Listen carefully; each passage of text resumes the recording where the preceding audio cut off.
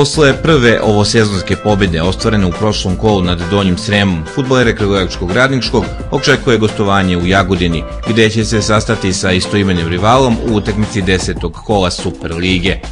Taj triumf je u velikoj meri popravio raspoloženje i povratio samopouzdanje, tako da se među igračima radničkog uveliko razmišlja o nastavku pobedonosnog niza. Jagodina je poslednjih godinu dana i prošle godine i ovu godinu je krenula dosta dobro, oni već imaju kontinuitet jednih dobrih igara, a mislim da smo mi ovom pobedom više psihološki izašli iz krize i mislim da, da, da, nam, da, da ćemo dokazati u nedelju da nam je forma usponu i da ćemo nastaviti sa, sa kupljanjem bodova.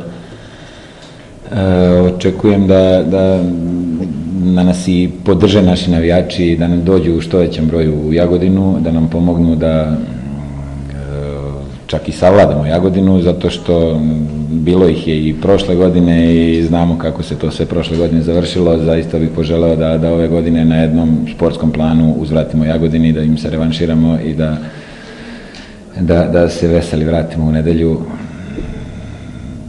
da nastavimo seriju koju smo, ja sam ubeđen, započeli prošle utakmice protiv Donjih Srema.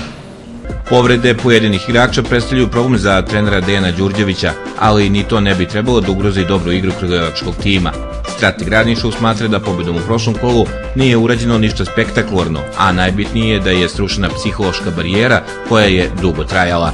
Mi se nalazimo u jednom dobrom psihološkom trenutku, mislim da nam je ova pobeda, kako da kažem, na izvestan način e, popravila atmosferu, ali mi smo tu utakmicu zaboravili već utorak posle drugog treninga i počeli da se pripremamo za sledećeg protivnika, pažljivo analiziramo, dobro treniramo, e, moramo da budemo svesni da ništa spektakularno nismo uradili, veliki korak za nas posle dugog vremenskog perioda koji smo imali bez pobede, ali se nadam da ćemo u nedelju nastaviti taj niz korektne igre, a rezultat kakav će biti, to ćemo videti na, na kraju utakmice, ali mislim da, da, da imamo vrlo dobre šanse da prikažemo dobru igru.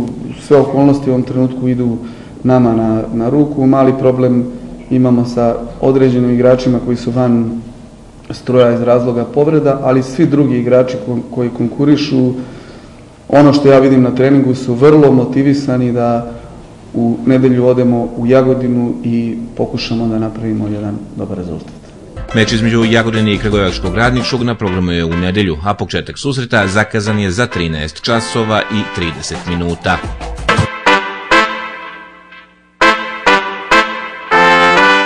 U nedelju će aktivni biti i futboleri Beloševačke pobede, koji će takođe od 13 časova i 30 minuta na svom terenu dočekati Šumadiju iz Aranđelovca u utakmici 11. kola zapadne grupe Srpske lige.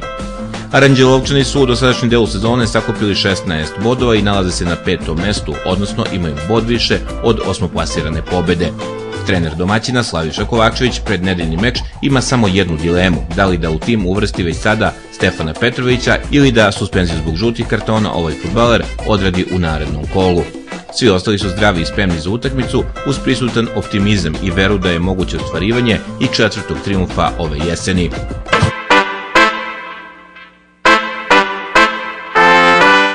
Nedelja je dan kada će na parket izaći i košarkaši Radničkog koji će u meču šestog kola ABA lige u Beogradskom pioniru za rivala imati ekipu Partizana. Izabranici trenera Miroslava Nikolića dolaskom Aleksandra Ćapina igraju znatno bolje nego s početka sezone, što se u ostalom vidi i po dve uzastupne pobede ostvarene u duelima sa MZT-om i Solnokom. Duel sa crnobelima propustit će iskusni Dragoljević zbog povrede zgloba, koja ga je već treću utakmicu zastupno odvojila od terena i igre. Izuzimajući taj, čini se da u kragujevačkom timu nemaju većih problema za susret sa Partizanom, u kojoj će ući sa željom da nastave sa dobrim igrama i učine sve da se zabeleži još jedna pobeda, bez obzira što će na drugoj strani stajati podmođena, ali izuzetno kvalitetna ekipa trenera Duška Vujoševića.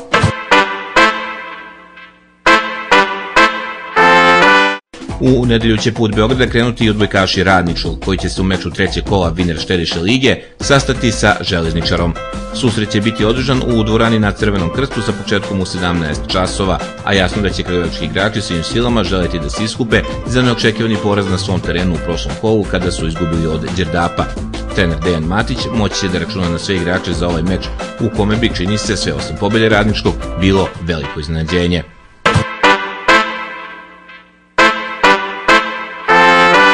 Pred vaterpolistima Radničkog posle pobjede u derbi susredu nad Partizanom bi trebalo da je znatno lakši zadatak s obzirom da će se u meču petog kola prve A lige kao gosti sastati sa ekipom Dunava u Novom Sadu. Do sada Dunav je odigrao tri utekmice, pobedio je kao gosting i Dunav i na svom bazenu u Beograd, dok je poraz pretrpeo u susretu sa Partizanom, tako da se sa šest bodova nalazi na deobi četvrtog mesta. Radnički je do sada osvojio maksimalnih 12 bodova i sasvim sigurno da za meč koji će se na novosadskom bazenu Slana Bara odigrati sutra od 19 časova važi za apsolutnog favorita.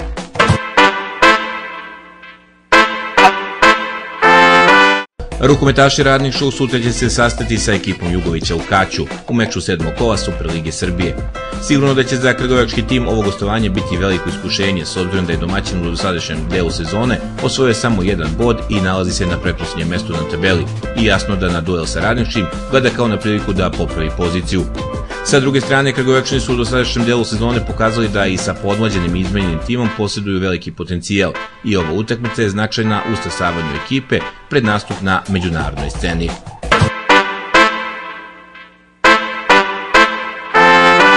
U utakmici šestog kola Superlige Srbije rukometašnici Radničkog u nedelju će se u Aranđelcu sastati s ekipom Knjaz Miloša. Početak meča je zakazan za 18 časova, a interesantno je da je Krgovački tim u periodu između dva kola dobio još jedno pojačanje. Upravo iz aranđelovačke ekipe došla je Marija Kuharović, koja igra na poziciji levog beka i u redovima radničkog ostaće najmanje do kraja sezone.